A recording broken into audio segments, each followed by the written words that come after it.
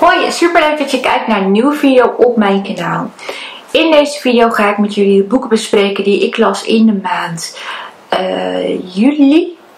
En uh, ik vind het altijd nog wel leuk om eventjes te laten weten wat ik van deze boeken vond die ik heb gelezen. En of ik ze zou kunnen aanraden.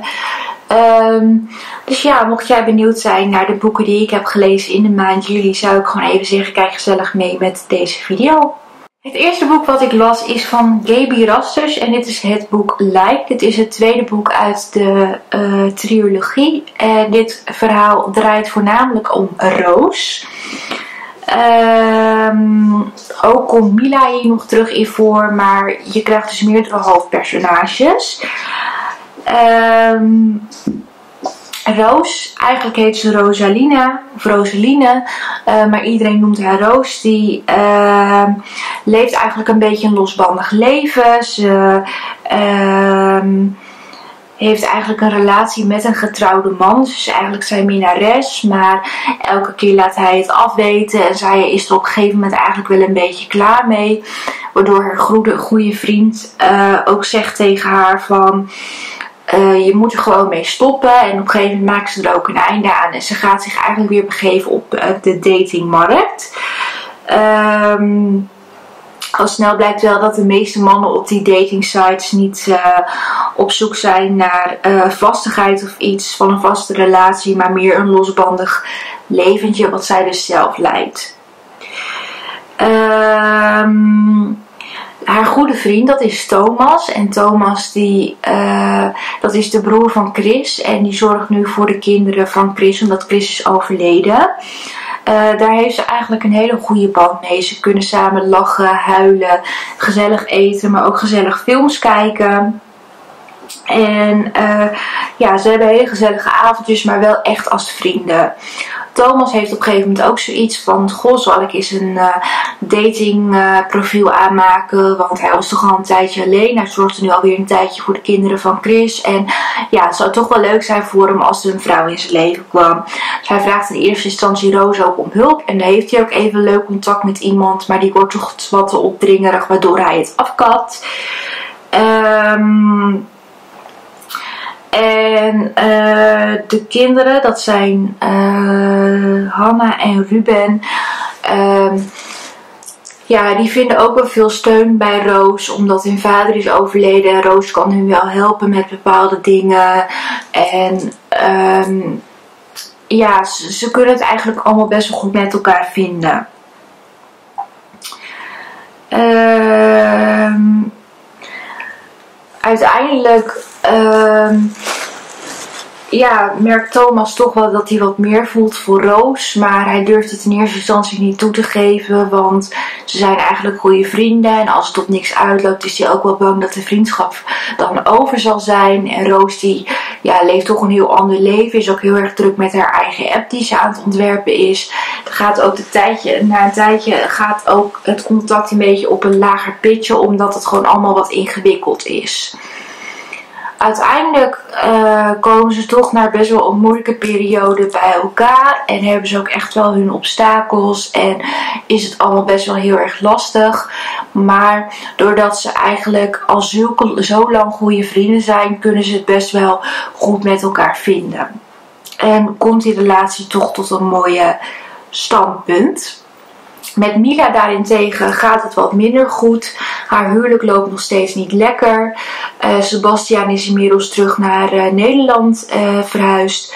Zij heeft hem ontmoet op een feestje. En het leek toch dat ze wel een hele leuke klik hebben. Omdat haar huwelijk niet echt lekker liep.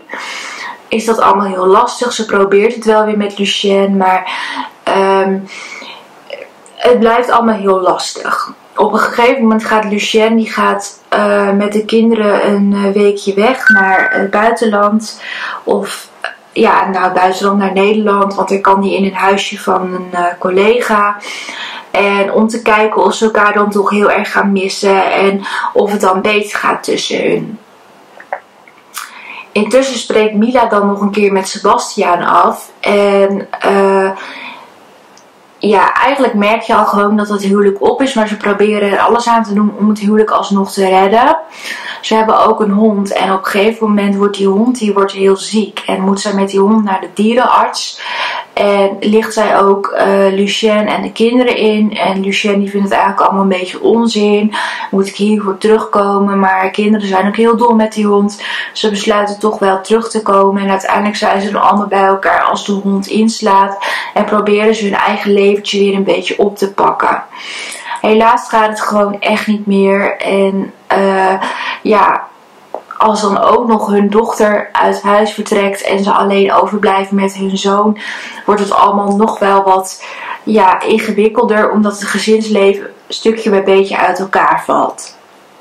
Ik vond het een heel mooi boek. Ik vond het sowieso een hele mooie reeks. Ik keek dan ook heel erg uit naar boek 3. En uh, ik vind het ook wel leuk dat er meerdere hoofdpersonages dus um, centraal staan. Maar je moet dus misschien soms wel een beetje wennen aan dat het zo.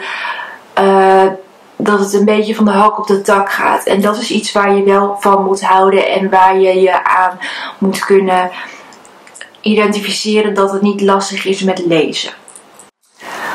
Het volgende boek wat ik las is ook van Gaby Rasters en dat is het boek Share, de laatste deel van de trilogie. Dit deel gaat voornamelijk over Roos. Roos is inmiddels een jongvolwassene en studeert. Zij heeft een vriend, daar woont ze mee samen en ze studeert voor uh, arts. En um, ze heeft een uh, begeleider, dat is al een wat oudere man. En iedereen vindt hem eigenlijk een beetje nors. Maar um, Roos die ziet nog wel de Roos, zei ik nou Roos? Hanna die ziet nog wel de, de, die kan daar nog wel een beetje doorheen prikken. En die komt op een gegeven moment bij hem op kantoor voor wat vragen. En dan komt er eigenlijk een heel diep, diepzinnig gesprek uit. En zij heeft ook nog wat vragen voor hem. En die kan hij op dat moment niet beantwoorden. Waarop hij besluit om haar zijn nummer te geven. Zodat ze die vragen in een berichtje kan zetten. Zodat hij die kan beantwoorden.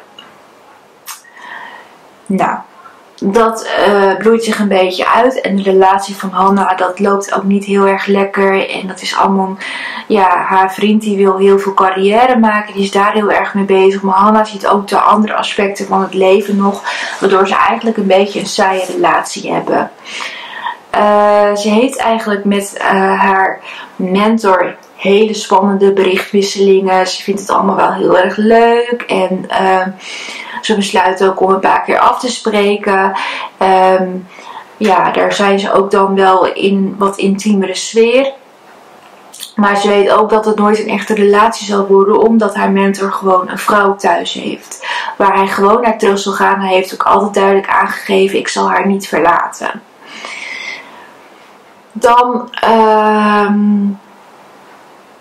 gaat dat een tijdje zo door en besluit ze op een gegeven moment toch om de relatie met haar vriend te verbreken. Omdat het eigenlijk allemaal niet gaat. Omdat ze te andere perspectieven hebben. En hij ziet het eigenlijk ook niet meer zo zitten in die relatie. Dus ze besluiten gezamenlijk om de relatie te beëindigen. Daar is ze in eerste instantie best wel heel verdrietig over.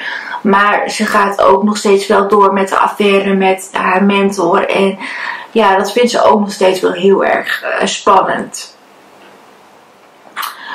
Um, op een gegeven moment praat ze met Roos en zegt Roos ook: Is dit nou wat je wilt halen uit het leven? Want ik weet niet of dit is wat je wilt dan krijgt zij een kans aangeboden om in het buitenland haar studie verder voor te zetten. En ze besluit toch om die kans aan te grijpen naar alles wat ze heeft meegemaakt. Lijkt het haar goed om een tijdje daar te gaan werken. En daar eindigt dan ook eigenlijk de affaire met haar mentor. Hij vindt het heel jammer dat ze vertrekt, maar ja, het is voor haar wel een goede keuze. Mila is inmiddels gescheiden van Lucien. En Lucien die heeft ook weer een nieuwe vriendin. En haar dochter Laurie is inmiddels ook een jongvolwassene. Die is inmiddels getrouwd met een hele leuke man. En daar heeft Mila in eerste instantie best wel een beetje lastig mee. Omdat toch haar kleine meisje gaat trouwen. En ze woont in Nederland. En Mila die is gewoon in Frankrijk blijven wonen. Dus het is allemaal een beetje ja, ingewikkeld voor haar. Op een gegeven moment um, zegt Lucien tegen haar: zoek die Sebast, zoek Sebastiaan gewoon weer op. Probeer weer in contact te komen met hem, want je was zoveel gelukkiger toen je nog contact met hem had.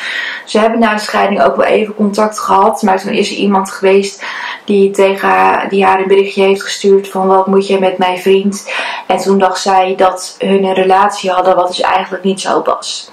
Ze komt uiteindelijk weer in contact met Sebastiaan. En Sebastiaan vindt het ook heel erg vreemd, waardoor het contact ineens uh, afgekapt is. Ze legt even voor waar, wat er is voorgevallen. En hij heeft er eigenlijk een hele goede verklaring voor dat er helemaal niks aan de hand was. Dat hij heel lang heeft rondgereisd wel aan haar heeft gedacht, maar dat ze totaal geen andere vrouw in zijn leven was. En zo komen hun ook weer bij elkaar.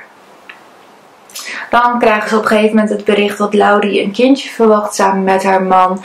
En dat is allemaal best wel een beetje ingewikkeld, want Lucien neemt zijn nieuwe vriendin mee. En uh, uh, Mila komt met haar nieuwe vriend. En ja, het is allemaal toch een beetje. Je merkt toch dat Lucien en Mila de connectie toch wel hebben. Omdat ze nog kinderen hebben. En dat vindt de vriendin van Lucien best wel lastig. Uiteindelijk blijven ze gelukkig wel bij elkaar. En uiteindelijk trouwt Mila dan nog met uh, Sebastiaan. Maar omdat Mila ook nog contact heeft gehouden met Hanna, heeft ze Hanna ook uitgenodigd omdat ze toch een soort connectie voelde, omdat ze haar vader goed had gekend. En Hanna die komt ook terug uh, voor de bruiloft. De zoon van Mila die heeft inmiddels ook een relatie gehad. Die relatie is verbroken. En er ontstaat toch eigenlijk wel een uh, connectie tussen Hanna en de zoon van Mila. Waardoor het een beetje een open einde is. Of de vraag is of die twee ook bij elkaar komen. Maar in ieder geval, ze konden het heel goed met elkaar vinden. En daar eindigde dit boek ook. Ik vind het wel jammer dat ik niet de duidelijkheid heb gekregen of uh, Hanna en uh, de zoon van Mila bij elkaar zijn gekomen. Dat had ik graag geweten. Maar ik heb deze uh, reeks echt met heel veel plezier gelezen en kan die me zeker aanraden. Het volgende boek wat ik las is van Lizzie van den Ham. En deze komt uit de Ver Wanhopig Verliefd serie. dit is Verboden Liefde. Het verhaal gaat over Yvonne Brandsma. Die gaat haar laatste jaar in uh, op het uh, VWO. En um, ze volgt daar haar lessen. Ze heeft ook een goede vriendin waar ze het goed mee kan vinden. En in het begin van het jaar vindt ze haar tekenleraar maar een vervelende man. Hij heet Martijn van Vliet. En um, ja, ze kan eigenlijk niet zo heel goed met hem. Maar naarmate het jaar eigenlijk verder volgt, begint ze hem leuk te vinden. En ze weet natuurlijk dat het helemaal niet kan. En Martijn is heel open in zijn klas. Hij vertelt ook dat hij uh, getrouwd is en dat hij. Uh, uh, wat opmerkingen maakte die dat hij bepaalde dingen van zijn vrouw niet mocht. En dat gaf bij Yvonne een beetje steek in het hart van oké, vind ik iemand leuk, is hij getrouwd. Nou ja, goed. Ze, uh, ze probeert hem uit haar hoofd te zetten. Dat vindt ze heel lastig. Ze weet ook eigenlijk een relatie met een leraar kan helemaal niet. Maar dan beginnen haar kleine dingen op te vallen. Nadat dat Martijn ineens zijn trouwring niet meer draagt. En zij vertelt dat ook direct aan haar uh, vriendin. En uh, zij is zoiets van, ja, nou ja, het kan van alles te betekenen hebben. Misschien is hij wel naar de juwelier of is er wat mee. Je moet er niet te veel achter zoeken. Um, uiteindelijk uh, merken ze toch dat Martijn een wat lastigere periode krijgt, de klas. En het is best wel een hechte klas, want hij is ook een mentor. En um, dan komen ze er toch achter dat hij in, uh, in scheiding uh, is gaan scheiden, omdat het allemaal niet meer werkte. En um, ja, Yvonne blijft gewoon heel erg, heel erg gek op hem. En ze merkt op een gegeven moment dat hij eigenlijk ook wel gevoelens voor haar krijgt. Ze hebben wat stiekem ontmoetingen af en toe. Gewoon af en toe is het elkaar eens eventjes een hand geven. Waardoor het iets langer duurt dan eigenlijk nodig is. En ja, ze merkt gewoon dat er een connectie is. Ik weet dat deze uh, uitleg heel kort is, maar de volgende boeken die ik ga bespreken komen uit dezelfde reeks en dan komt het verhaal meer op zijn plaats, want dit was meer een soortje leert de mensen kennen uit dit boek. Dus uh, uh, de volgende boeken zullen ook uit deze reeks komen. Het volgende boek, zoals ik al vertelde, komt dus ook uit die reeks Wanhopig Verliefd en deze heet Verboden Kus, ook van Lizzie van der Ham. Ehm, intussen komt de spanning best wel tot uiting tussen Yvonne en Martijn. En uh, is er eigenlijk heel veel spanning. Want um, ze mogen natuurlijk niet betrapt worden. Want het kan gewoon echt niet. Het kan Martijn zijn baan kosten. En ja, dan moet hij op een, is de kans gewoon heel klein dat hij op een andere uh, school nog aan het werk komt. Want zulke verhalen gaan natuurlijk als een lopend vuurtje. Dus ze moeten heel voorzichtig zijn.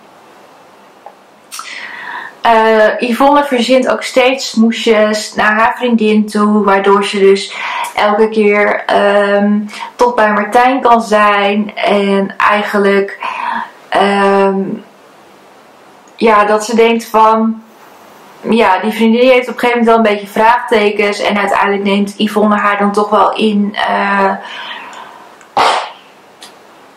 vertrouwen van, oké, er hangt een spanning, er is nog niks gebeurd, maar we vinden elkaar wel heel leuk.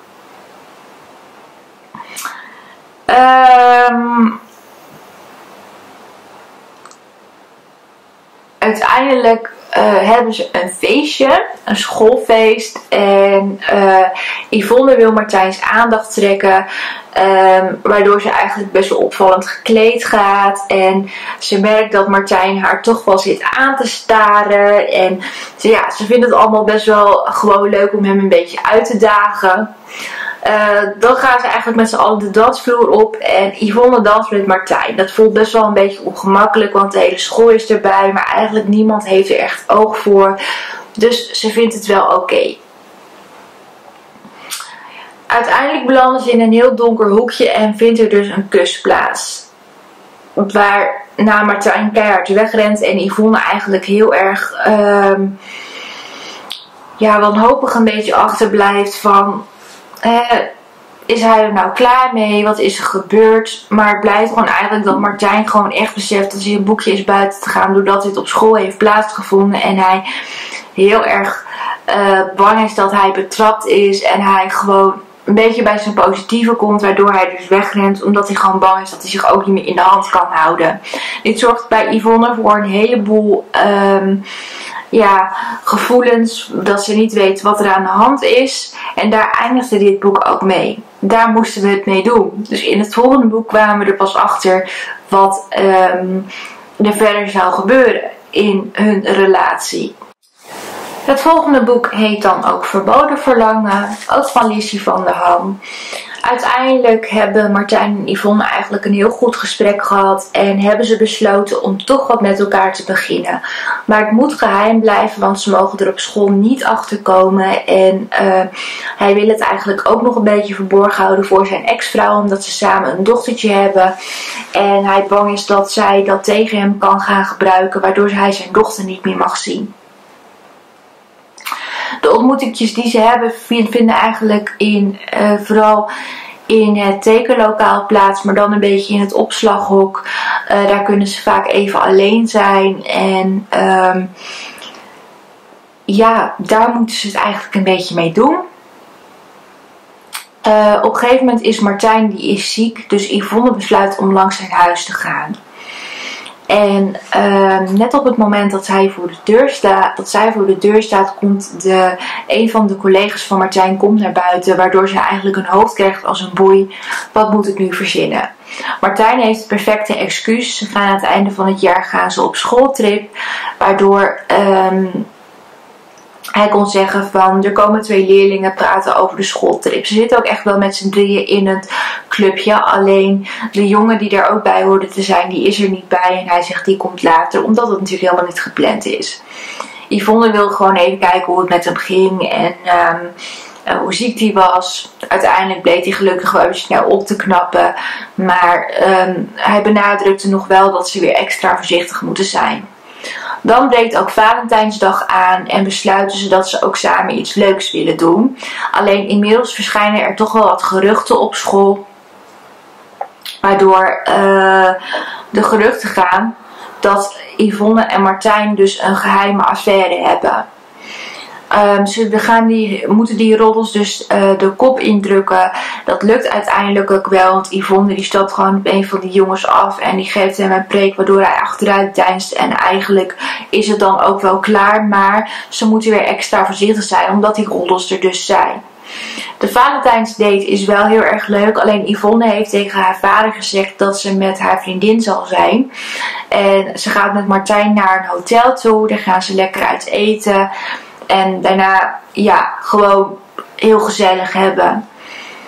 Alleen dan belt uh, de vriendin van Yvonne haar in paniek op. Ik ben net je vader tegengekomen, dus hij weet dat je niet met mij bent in Amsterdam.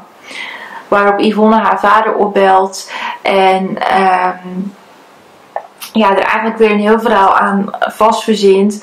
Dat ze uh, een leuke afspraak had met iemand, maar dat het niks is geworden. Dat ze nu een hotelletje heeft genomen in Amsterdam en dat ze volgende dag weer thuis zal komen. Haar vader slikt het excuus wel, maar er ligt wel een smet op die Valentijnsdate. En helemaal natuurlijk omdat ze gewoon nog steeds heel voorzichtig moeten zijn. Dus dat blijft wel een heel erg lastig punt. Het volgende uh, boek is dan Verboden Passie, uiteraard ook van Lizzie van der Ham. Dit is het vierde deel. En het wordt voor Martijn en Yvonne eigenlijk steeds moeilijker om de dingen geheim te houden. Uh, Martijn heeft ook wat lastige dingen omtrent zijn scheidingen, scheiding, waardoor hij een aantal keer niet op school verschijnt. En hij ook rekening moet houden met zijn dochtertje. Uh, dan besluiten ze om een keertje gezamenlijk naar de bioscoop te gaan. Ze doen het lijken als een uh, bijzondere ontmoeting. Ze gaan, uh, Yvonne gaat ook naar een kinderfilm waar het dochtertje van Martijn heen wil. Ze besluiten om dan gezamenlijk bij elkaar te gaan zitten. Maar Yvonne gaat als eerste de zaal in. Zodat, ze niet, zodat het niet heel toevallig zou zijn als ze met z'n allen binnenkomen. Mochten ze een bekende tegenkomen dat het lijkt alsof ze samen zijn. Zo kon het een toevallige ontmoeting lijken. Yvonne die uh, gaat al in de zaal zitten en op dat moment komt ze net haar overbuurvrouw tegen met haar twee zoontjes. En zij heeft haar tassen al op twee stoelen neergezet, van deze zijn bezet. En um, ja, haar uh, buurvrouw maakt een praatje en Yvonne is al heel erg bang dat hij naast haar komt zitten, wat uiteindelijk niet gebeurt. Komen Martijn en zijn dochter ook in het zaaltje. En ze hebben het eigenlijk heel leuk. De film is heel erg leuk. Um, dan besluit Yvonne, als de film is afgelopen, moet Yvonne even naar het toilet. En daar gebeurt iets wat niet zo fijn is. Waardoor Yvonne eigenlijk weer, een, uh, weer heel veel twijfels krijgt. Van ben ik door de mand gevallen? Uh, hebben mensen het door? Dan vraagt het dochtertje van Martijn ook nog of Yvonne mee een ijsje gaat eten. Want ze vindt Yvonne helemaal geweldig. Ze vindt het echt een hele leuke meid. Nou, Yvonne die wil dat uiteindelijk wel. Na veel twijfelen, wikken en wegen gaat ze dan toch mee. Gaan ze gezellig een ijsje eten. Maar je merkt gewoon dat de relatie steeds moeilijker wordt. Het wordt ook steeds moeilijker om de ex van Martijn te ontlopen. Yvonne is daar op een gegeven moment weer geweest. En dan ziet ze dat zijn ex komt aanrijden. En ze probeert zich echt een beetje te verschuilen, want ze is bang dat haar die ex haar zal herkennen, omdat ze al eerder haar zijn ex heeft ontmoet toen Martijn nog wel getrouwd was. Die kwamen ze toen samen tegen in een winkel waar ze aan het shoppen waren. Dat is op dat moment gelukt. Alleen de volgende keer dat uh, Yvonne weer bij Martijn is, zal ze gaan koken en belt de ex van Martijn op dat ze iets is vergeten. Waardoor Yvonne zich moet verstoppen op de bovenverdieping. En het echt heel spannend is of de ex van Martijn het niet door zal hebben dat hij dus een relatie heeft met een minderjarige. Um, dus het wordt gewoon voor hun steeds moeilijker om de relatie geheim te houden. Het laatste boek uit deze reeks heet Verboden Geluk. Uh, Martijn heeft Yvonne op een gegeven moment een ring gegeven. En Yvonne gaat in de vakantie uh, met haar vader naar Parijs haar vader ziet dat zij een ring draagt. Die heeft ze op Valentijnsdag gekregen. En hij vraagt zich af, hoe kom je eigenlijk aan die ring? Martijn heeft in eerste instantie gezegd, zeg maar gewoon tegen je vader dat je die ring zelf hebt gekocht. Maar Yvonne besluit om te zeggen, hij lag ineens op de hoek van mijn tafeltje. Dus ik denk dat iemand mij die ring heeft gegeven. En ik ben eigenlijk wel benieuwd van wie die is. Maar ik vond hem heel mooi, dus ik draag hem. Haar vader slikt dat verhaal wel. Maar... Uh, hij wil ook wel dat Yvonne voorzichtig is. Ze heeft een hele leuke tijd met haar vader in Parijs. Het is heel gezellig. Ze hebben een fijne vakantie. Maar ze mist Martijn verschrikkelijk. Dan wil ze ook een kaartje op de bus doen voor Martijn. En dan zegt haar vader heel liefdevol: Ik ga de kaartjes wel posten. Waardoor Yvonne een beetje de schrik krijgt Uh, nee, chips, dat kan helemaal niet. Want ik heb een kaartje voor Martijn en mijn vader mag die kaart niet vinden. Dus uiteindelijk gaan ze zelf die kaartjes posten. Als het terug is van vakantie gaat ze direct naar Martijn toe en uh, kan ze aanschuiven voor het ontbijt. Want uh, ja, en dan gaan ze er eigenlijk nog wel een hele leuke dag van maken. Maar ook hun tripje van uh, naar Praag komt steeds dichterbij. En ehm, ze moeten daar echt afstand gaan houden. Inmiddels heeft, is het dochtertje van Martijn jarig en die heeft gevraagd of Yvonne ook op haar verjaardag komt. En dat vindt ze wel heel erg leuk. Uh, Yvonne die uh, besluit iets van Disney te kopen. Volgens mij iets van de kleine zeemermin. Want daar is het dochtertje van Martijn helemaal gek van. En het valt helemaal in de smaak. En ze hebben eigenlijk gewoon een hele leuke middag. Totdat het dochtertje weer terug moet naar haar moeder. Uh, en ze hebben ook echt tegen haar gezegd: zeg maar niks tegen mama, want het moet nog een beetje geheim blijven. En dat dochtertje vindt het prima, die zegt ook niks. Nou ja, ze gaan ook steeds vaker weekendjes weg. Ze hebben het leuk. Ze heeft inmiddels haar vader wel lichtelijk wat verteld, maar niet in alle details. In de hoop dat haar vader het wel zal begrijpen, want de moeder van Yvonne was tenslotte ook een leerling van haar vader. Toen ze een relatie kreeg, alleen haar vader was wel meerderjarig. Dan gaan ze naar Praag toe. En ze hebben er heel veel zin in en het wordt allemaal heel erg leuk. En um, ze hebben wel besloten om veel afstand te houden, waardoor Yvonne niet zoveel bij Martijn in de buurt komt. Yvonne heeft het daar heel erg moeilijk mee en um, ja, vindt het echt lastig om Martijn te ontlopen. Maar alles om natuurlijk uh, ja, het allemaal goed proberen te houden. Dan krijgt Martijn een heel vervelend uh, telefoontje, waardoor Yvonne ziet dat, ze, dat hij heel neerslachtig is en ze eigenlijk direct het liefst naar Martijn toe wil lopen, maar dat gaat niet. Uiteindelijk besluit ze als ze terug zijn op in de hotelkamers om toch even bij hem langs te gaan. En ze hebben wel eventjes een redelijk goed gesprek, maar hij wil er verder niet te veel over kwijt. Yvonne loopt dan naar de douches en vindt Daro in de keuken Martijn eigenlijk heel verdrietig gaan op de grond. Want er is wat mis um, in de thuissituatie. Waardoor hij eigenlijk um, ja, het heel vervelend vindt dat hij er nu niet bij kan zijn. En Yvonne besluit hem te troosten. Maar dan komen een van de andere leraren binnen en die ziet dus het tafereel. Waardoor hij gelijk de conclusie trekt: oké, de geruchten zijn dus waar die er te ronde doen. En dit moet nu stoppen. Martijn hier wordt per direct ontslagen. Hij moet ook direct weg van uh, uh, het reisje naar Praag. En Yvonne is helemaal in tranen en vertelt het dan uiteindelijk aan haar kamergenoten. Waardoor iedereen eigenlijk in staking is. Uh, omdat ze helemaal gek zijn van leraar Martijn. En ze niet willen dat hij ontslagen wordt. Uiteindelijk naar een heel goed doel weten ze de leraren te overtuigen dat Martijn mag blijven. En het voelt voor Martijn heel dubbel. Want aan de ene kant wil hij graag blijven. Aan de andere kant heeft hij. Ja, ik vind het eigenlijk wel prima om te gaan. Want het is toch niet zo heel erg leuk meer op deze manier. Maar hij blijft toch. En uiteindelijk uh, ja, moet haar vader toestemming geven van Yvonne door te zeggen dat hij wist dat hij op de hoogte was van hun relatie en dat hij volledig toestemming geeft. En dat doet hij dan ook, waardoor uiteindelijk alles toch nog goed komt. Ik vond het een hele mooie reeks. Het waren niet hele lange boeken, dus het leest op zich wel lekker makkelijk weg. En uh, er zijn nog veel meer uh, boeken van Lizzie van der Ham. Dus ik kan je zeker aanraden om eens een kijkje te nemen bij haar boeken. Het volgende boek wat ik lees is De Vechter. Dit komt uit de Dr. Vierreeks en deze is geschreven door E.L. Todd. Uh, dit verhaal gaat over Pepper en Finn. Finn is aan het einde van uh, het derde deel van dit boek is hij vertrokken naar het buitenland om te gaan werken voor Artsen zonder Grenzen. Pepper heeft het daar ontzettend moeilijk mee, maar houdt zich op een gegeven moment eigenlijk heel erg groot en begint ook wel weer een beetje te daten. Um, de broer van Finn hoort eigenlijk ook maar bar weinig van hem. En Finn die besluit toch van de een op het andere moment. Ik hoor hier niet thuis. Ik mis mijn thuisbasis. Ik wil terug naar huis. Nou ja, dat kan. Alleen hij moet wel beseffen dat hij dan alles wel verliest wat hij daar heeft opgebouwd. Maar dat kan hem op dat moment niks schelen. Want hij is er gewoon echt klaar mee. Hij gaat gelijk langs bij zijn ouders, bij zijn broer. En zijn ouders zijn natuurlijk heel blij dat hij weer thuis is.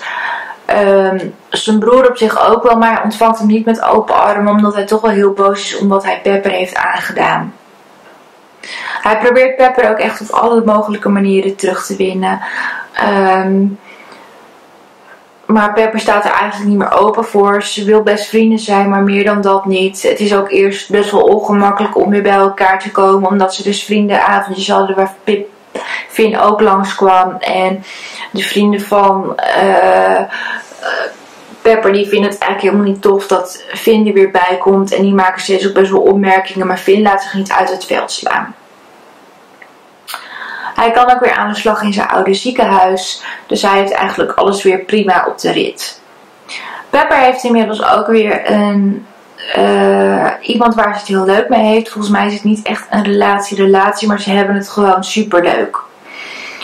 Uiteindelijk heeft ze toch wel een goed gesprek met Finn en maakt ze ook duidelijk als vrienden vind ik het prima, meer ook niet.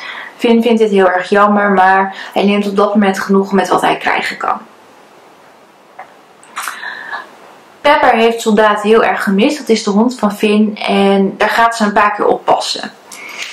Net op het moment dat haar uh, degene waarmee ze dus op dat moment is steeds langskomt. En die zegt, wat doet die hond nou weer hier?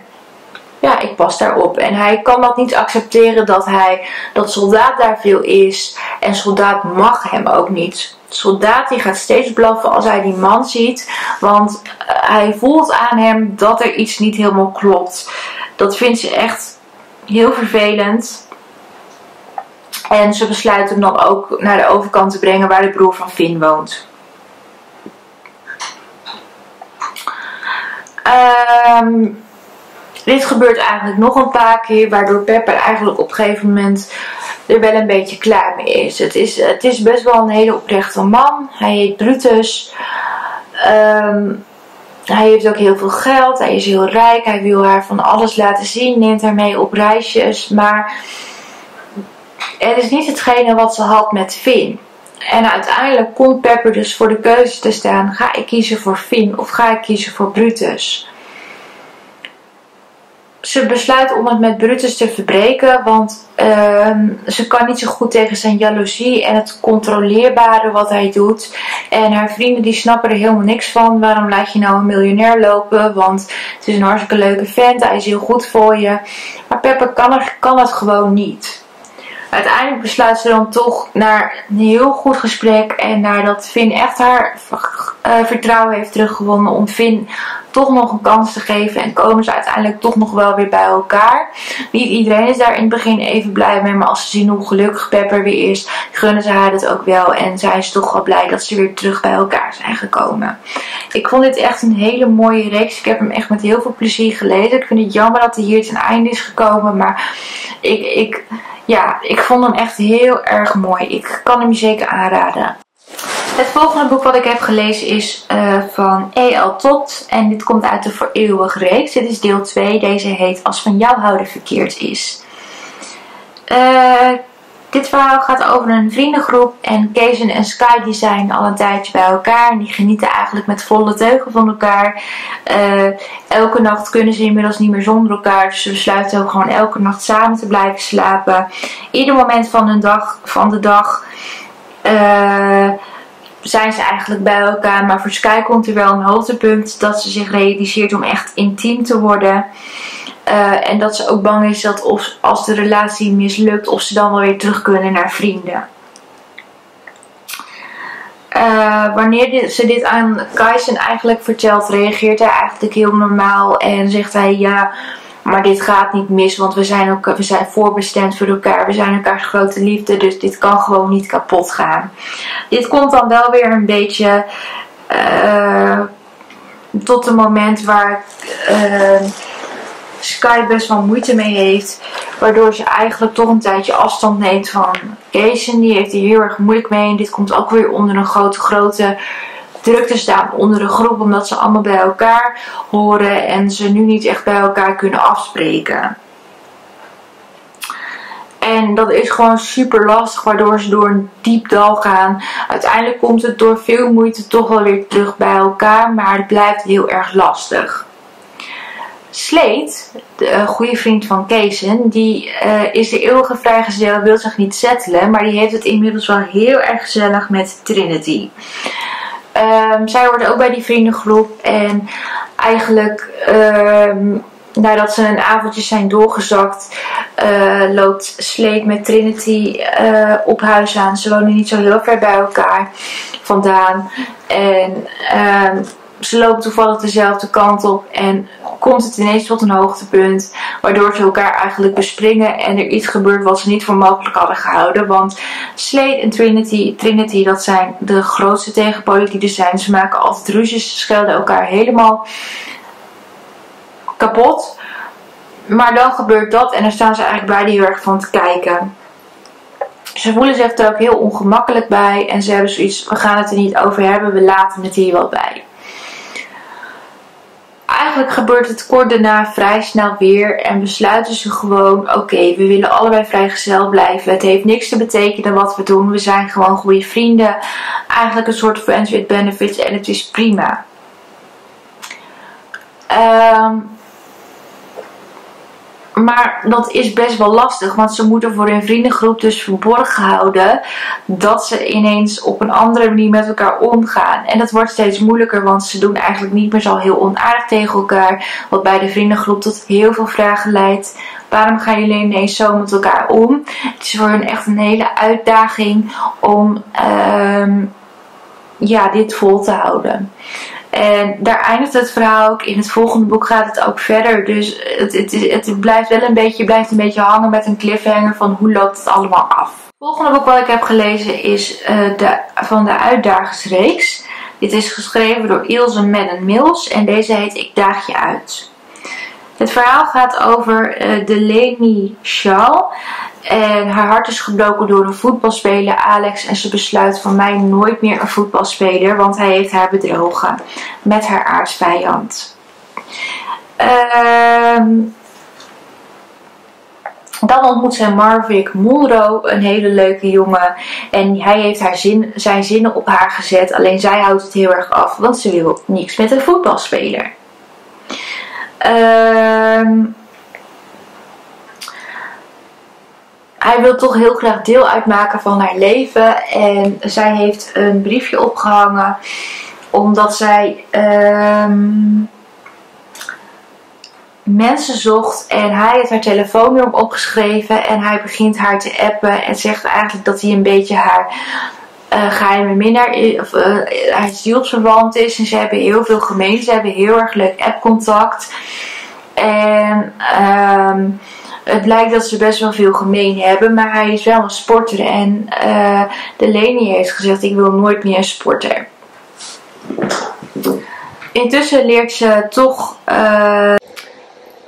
Inmiddels gaat Delani toch uh, wat vaker om met Marvick. En heeft ze toch wel door dat hij toch heel anders is als haar ex Alex. die is daar eerst toch wel op tegen dat uh, Marvick met uh, Delani omgaat. En dat komt tot een vechtpartij.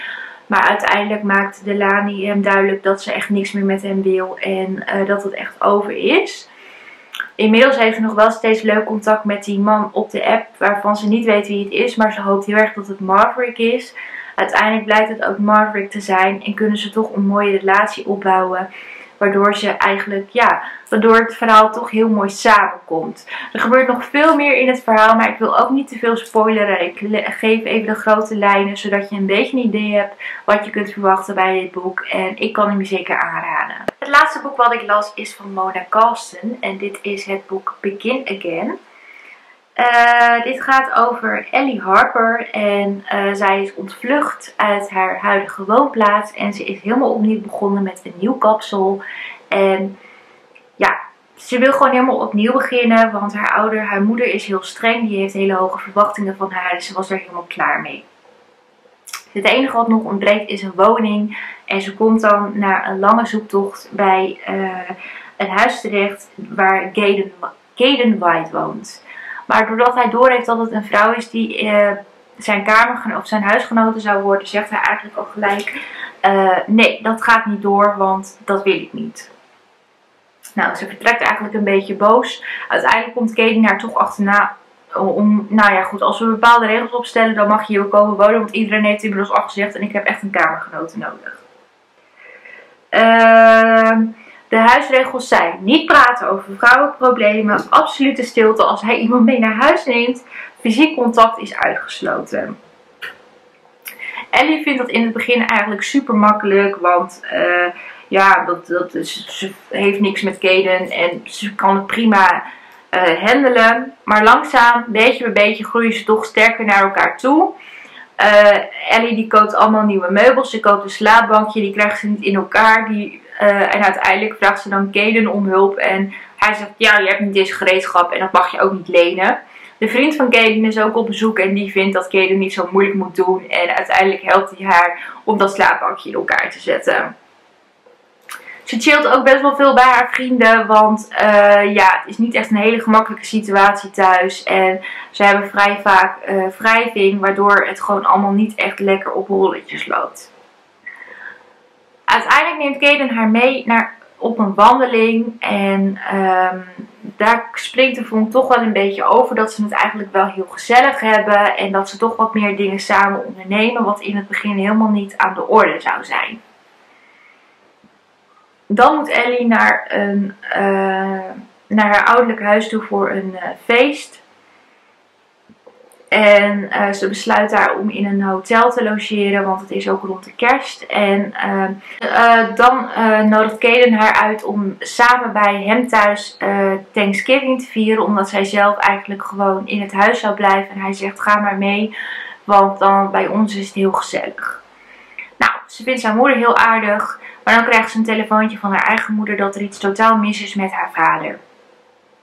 Dus met stel op sprong gaat ze eigenlijk terug naar haar ouderlijk huis. Ze neemt de eerste beste vlucht die ze kan krijgen. En ze komt bij het ouderlijk huis aan. Haar vader doet de deur open en ze heeft echt zoiets. Ja, pap, gaat alles wel goed? Ja, waarom zou het niet goed gaan?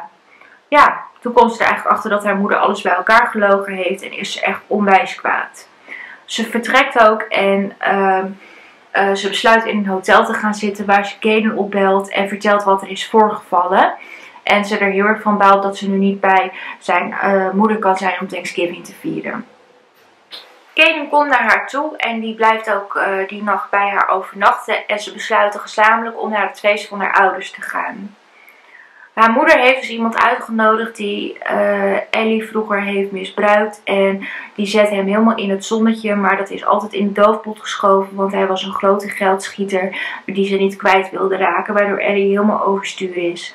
Ze besluit ook om direct te vertrekken van het feest. En de volgende dag vieren ze alsnog uh, het feest bij zijn ouders. Wat heel gezellig is. Of bij zijn moeder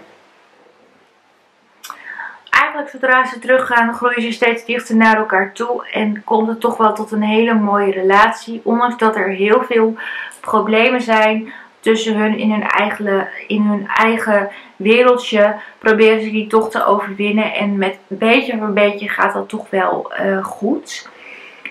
Um, ik vond het een heel mooi verhaal. Er zijn meerdere boeken van en die heb ik inmiddels ook gelezen. Maar die zal ik uitleggen in de volgende gelezen video. Gelezen boeken video, want uh, die heb ik in augustus gelezen. Maar ik vond het echt een hele, heel mooi boek. Dan waren dit weer de boeken die ik heb gelezen van jullie. Ik heb echt weer hele mooie verhalen gelezen waar ik echt heel erg blij van word. Ik word ook altijd heel erg blij van lezen. Als ik weer een mooi boek ben begonnen, kan ik daar ook echt intens van genieten. Ik ben eigenlijk wel benieuwd of jullie lezers zijn en wat voor, voor uh, uh, genre jullie graag lezen. Laat het zeker even weten in de comments. Voor nu wil ik je in ieder geval heel erg bedanken voor het kijken. Ik hoop dat je het leuk vond om te zien. Ben je nieuw op mijn kanaal kun je gratis abonneren. Het kan er op het rondje met mijn gezicht drukken en op mijn kanaal zelf. Daar kun je ook het belletje aan zetten. Krijg je melding zodra een nieuwe video uh, verschijnt. Uh, voor nu bedankt voor het kijken en ik hoop je bij een volgende video weer te zien.